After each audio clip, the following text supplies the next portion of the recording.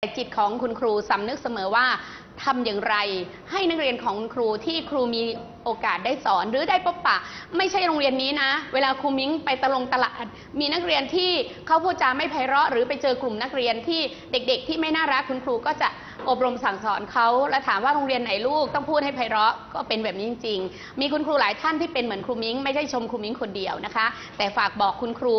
ที่ที่ที่มีใจที่อยากจะเป็นคุณครูนะคะว่าเออเราต้องจะทำอย่างไรนะคะ และที่สำคัญสโลแกนของครูมิ้งครูต้องเกินร้อยคำว่าครูเกินร้อยหมายความว่ามีคะแนน 100ทำอย่างไรเราต้องได้คะแนน เราต้องทำอะไรให้มันเกินร้อยอะ อย่างเช่นเวลาพูดนะคะ ครูมิ้งจะพูดรอเรือ เวลานักเรียนได้ยินนักเรียนก็ได้แค่รอเรือใช่ไหมคะ แต่ถ้าครูพูดว่ารอเรือ เด็กก็รอเรือใช่ไหมคะ อันนี้แหละก็เรียกว่าครูต้องเกินร้อยนะคะ เกินร้อยคือทำอะไรให้สุดๆไปเลยนะคะ เด็กๆก็จะได้รับไปประมาณ 90 หรือ 80 เพราะเด็กยังไงก็รับได้ไม่ถึงร้อยแน่นอน ไม่ได้เต็มจากคุณครูนะคะ โอเค พูดยาวไปอีกแล้วนะคะ ก็ขอบคุณและก็ขอโทษถ้าไปกระทบ คนหนึ่งคนใดท่านหนึ่งท่านใดนะคะ แต่ด้วยความหวังดีและปรารถนาดีจริง ๆ ยังไงก็ยังรักทุกๆ คนนะคะ ยินดีให้เข้าร่วม ยินดีให้เรียนกับวังไกลกังวลทุกโรงเรียน ไม่ต้องน้อยอกน้อยใจว่าเอ๊ะทำไมรักโรงเรียนนั้นมากกว่ารักโรงเรียนนี้มากกว่าไม่มีนะคะ แต่การเรียนอยากให้มีความสัมพันธ์กัน อยากให้เป็นพี่เป็นน้อง อยากให้พูดคุยกันแบบ อืมเขาเรียกอะไรนะ ให้เกียรติซึ่งกันและกันเขาแค่นั้นเองนะคะ โอเคนะ จบดีกว่าอ่าตอนนี้เด็กๆคะ ไม่เต้นดีกว่านะ อ้าวไม่เต้นปรบมือห้าครั้ง ปรบให้ดังกว่านี้หัวเราะห้าทีหัวเราะเป็นสระโอหัวเราะเป็นสระอาหัวเราะเป็นสระไออุ้ยอุ้ยเสียงเบาจัง หัวเราะเป็นสระอี อีอีเป็นยังไงอีอีอีอีหัวเราะเป็นสระอีอีอีอีอีอีสระอะไรอีกหัวเราะเป็นสระอออออออออออออออออออื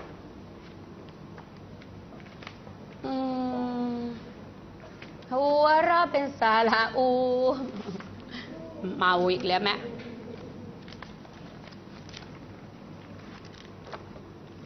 พวกหนูหนูพร้อมจะเรียนหรือยัง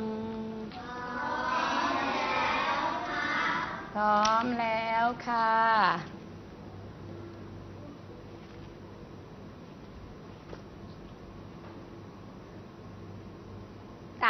พร้อมแล้วตอนนี้เด็กๆทุกคนหยิบ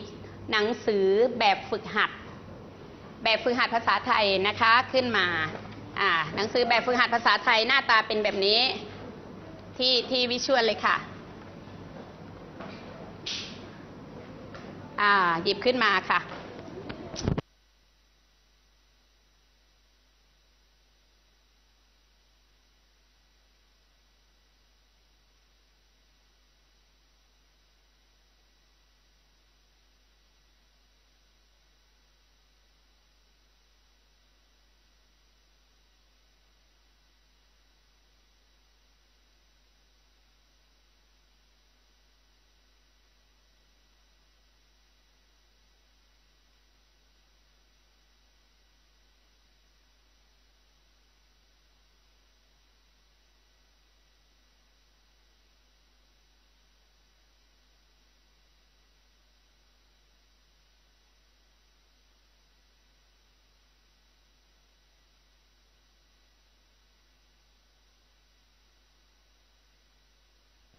เล่มนี้ปลายทางต่างจังหวัดมีไหมคะ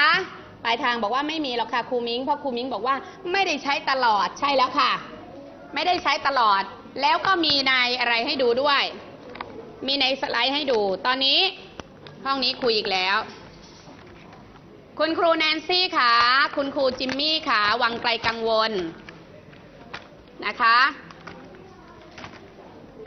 วางไกลกังวลหลายคนค่ะ คุณครูจิมมี่กับคุณครูแนนซี่ มีนักเรียนหลายคนไม่เขียนชื่อ ซึ่งทำให้ยากต่อการแจกจ่ายหนังสือกลับไป คุณครูสำรวจให้ครูมิ้งนิดนึงนะคะ ถ้าใคร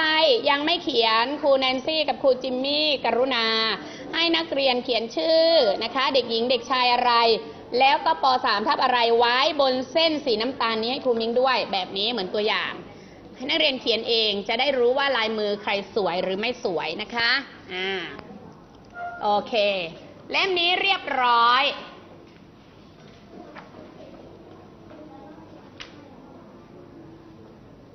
วันนี้งดเขียนไทยนะ ลืมบอกปลายทางรู้สึกยุ่งจังเลยครูมิง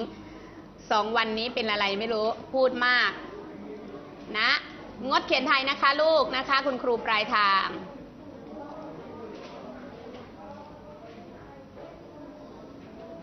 คุยอีกแล้วไม่เลิกนะคะ อะ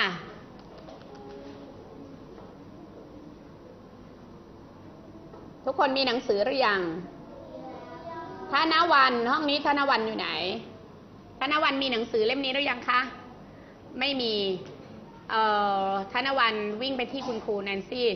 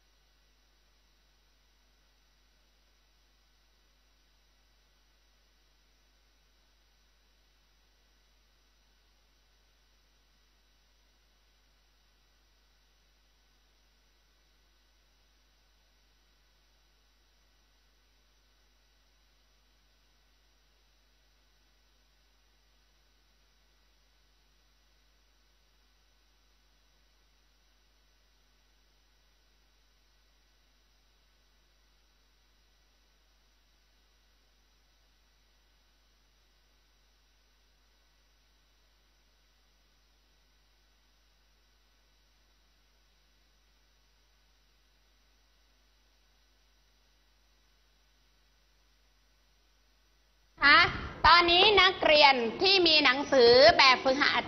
เปิดหน้า 43 ทุกคน นักเรียนวังไกลกังวล และนักเรียนปลายทางต่างจังหวัดที่มีหนังสือเล่มเมื่อสักครู่ เปิดหน้าที่ 43 ส่วนนักเรียนที่ไม่มีเปิดสมุดแบบฝึกหัด วันนี้เราจะทดสอบหน่วยที่ 1 วงเล็บ 2 นะคะนะ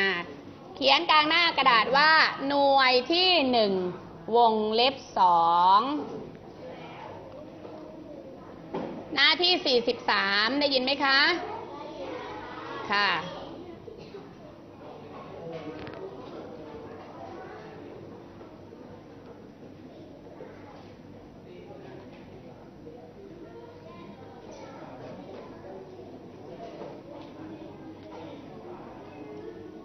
เรียบร้อยหรือยัง ปลายทางก็คงเรียบร้อยแล้ว วางใจกังวล ปรบมือห้าครั้ง ห้องนี้สงสัยไม่ต้องมาออกอากาศทั้งหมดเลยวันจันทร์ปรบมือห้าครั้ง ทั้งหมดนั่งตรง ต่อไปนี้จะทำการทดสอบคำว่าทดสอบหมายความว่าทำเองด้วยตนเอง ไม่คุยกับเพื่อน ไม่ถามเพื่อน ไม่เชะเง้อดูเพื่อน ถ้าอ่านก็ให้อ่านในใจ ไม่ต้องมีเสียงเฉพาะโรงเรียนวังไกลกังวล หรือนักเรียนที่มีหนังสือ ส่วนนักเรียนที่อยู่ปลายทางไม่มีหนังสือครูจะให้นักเรียนอ่านพร้อมกันหรืออะไรก็ตามแต่ เพราะครูมิ้งไม่ได้ยินก็แล้วแต่คุณครู ส่วนห้องนี้ให้ทำลงในหนังสือ วังไกลกังวลก็ทำลงในหนังสือแล้วก็อ่านในใจทุกคนวังไกลกังวลลงมือทำได้นะคะ ส่วนปลายทางต่างจังหวัดสมุดพร้อมแล้วมาดู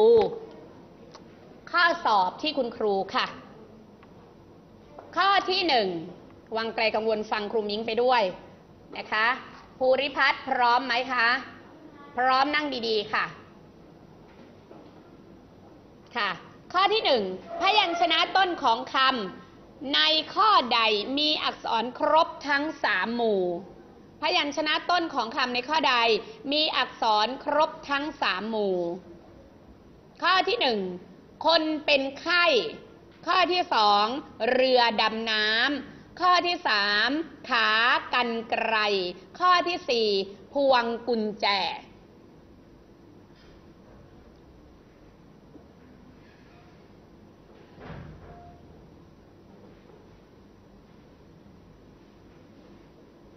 นะคะพยัญชนะต้นของคำในข้อใดมีอักษรครบทั้งสามหมู่ข้อหนึ่ง คนเป็นไข้ข้อที่สองเรือดำน้ำข้อที่สามขากันไกรข้อที่สี่พวงกุญแจ คนที่มีหนังสือระบายคำตอบลงไปเหมือนกับการสอบคราวที่แล้วจำได้ไหมคะจำได้ค่ะ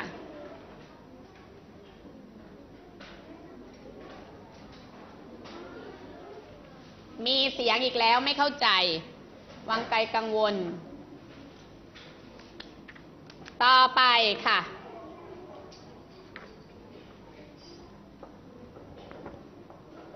เรียบร้อยยังคะ เรียบร้อยนะ ครูมิงไม่ถามแล้วเรียบร้อยไม่เรียบร้อยไปเลย ข้อที่สองคำในข้อใดมีเสียงวรรณยุกต์โททั้งหมด